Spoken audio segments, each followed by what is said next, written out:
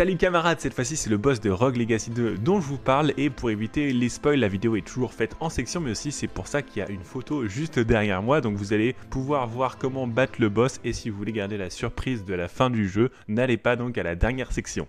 Alors vous pouvez affronter ce boss à partir de la ville en parlant au livreur de pizza une fois que vous l'avez déjà affronté. Évidemment ce que je vous déconseille très fortement est de plutôt aller dans le château pour pouvoir récupérer des bonus. Donc on fait la citadelle Agartha, on fait aussi l'étude stygienne et le lac Pichon et j'ai pu récupérer quelques fruits, changer d'armes ainsi que des reliques. Bon c'était pas un run très, euh, très chanceux on va dire mais avec ça vous pouvez récupérer 3 à 4 fruits pour avoir beaucoup plus de points de vie pour affronter ce boss. Une fois que c'est fait on retourne au début du château à la citadelle d'Agartha et on va pouvoir trouver ce boss juste à l'entrée. Pour le combat en lui-même c'est un boss qui est assez compliqué parce que non seulement déjà il a beaucoup de points de vie, il fait beaucoup de dégâts et en plus il va s'inspirer de tous les boss qu'on a affrontés auparavant. Donc ça va être important déjà de bien connaître toutes ces attaques, qui soient issues de la Meg, de Namaha, etc. Vous reconnaîtrez des petites indications en fonction euh, du type d'attaque qu'il utilise. Mais sinon déjà, première étape, bien comprendre ses attaques. Ensuite, on va utiliser, moi j'aime beaucoup les dégâts sur la durée parce que ça permet de se concentrer justement sur l'esquive de ces projectiles. C'est pour ça que j'ai pris la boule de poison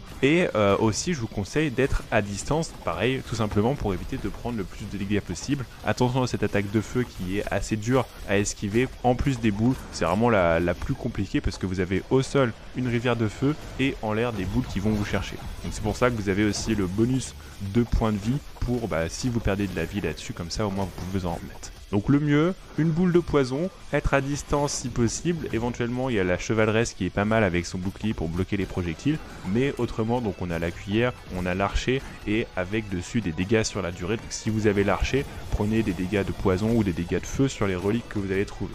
Ensuite, vous lui mettez tous les dégâts et avec les dégâts sur la durée, vous allez pouvoir comme ça vous concentrer sur l'esquive et vous devrez à peu près vous en sortir. Alors sachant que j'étais euh, niveau 217 pour pouvoir le tuer, mais voilà, ça reste faisable si vous avez ces bonnes préparations. Donc après un épilogue euh, plutôt sympathique, vous allez pouvoir passer à la fin du jeu, on va dire plutôt le vrai début de celui-ci. C'est un peu à la manière d'Hades en fait, où vous allez comme sur Hades monter la température. Ici on va augmenter le nombre de fardeaux et recommencer pour pouvoir ensuite aller encore plus loin en nombre de fardeaux.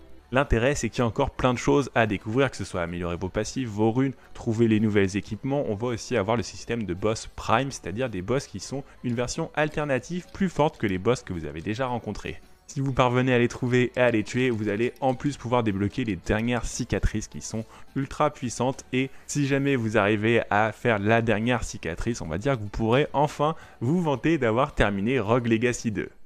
Merci d'avoir vu cette vidéo, je vous souhaite bon courage si vous souhaitez pousser les fardeaux de Rogue Legacy 2 et n'hésitez pas à partager dans les commentaires là où vous en êtes.